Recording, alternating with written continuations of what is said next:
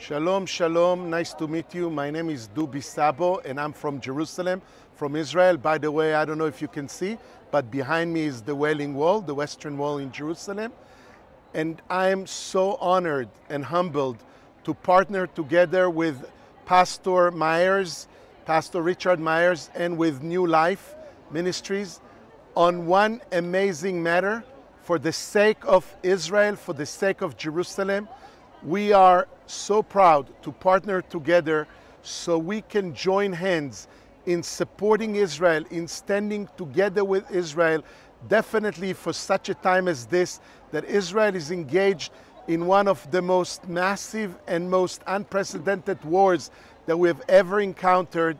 As on October 7th, the enemies of Israel, the Hamas from Gaza, infiltrated into Israel killed over 1,200 Israelis, took hostages into Gaza, and the war still continues now.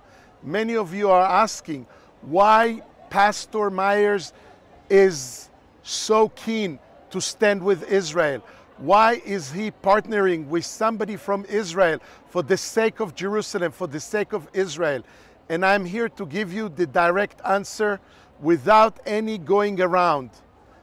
Israel is the most beloved place on earth from the, for the Lord God of Israel. Today, this is July 7th, and it's 7 7.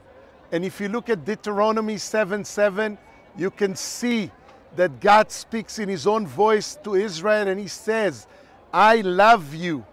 I love Israel.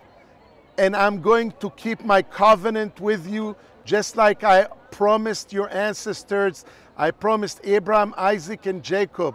And therefore, God's word is valid. God, our God, is a covenant keeping God.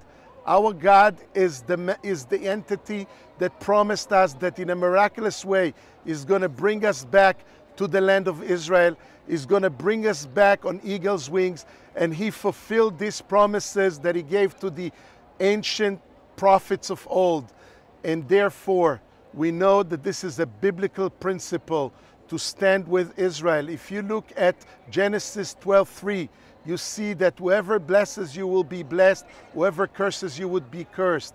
On Genesis 18:18, 18, you can see that God is speaking and giving a promise to Abraham, and he tells him that through him all the families of the earth will be blessed.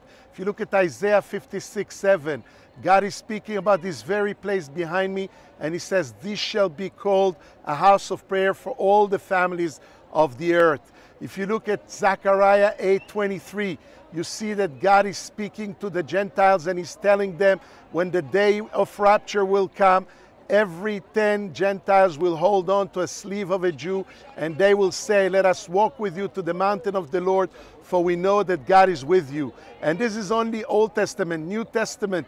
You see what Harav Shaul, the Apostle Paul, is saying to Romans 11. He's speaking to the people and he tells them that we are grafted together, Gentiles and Jews. Jesus spoke and said that through the Jews comes the salvation. This is a principle that we cannot change.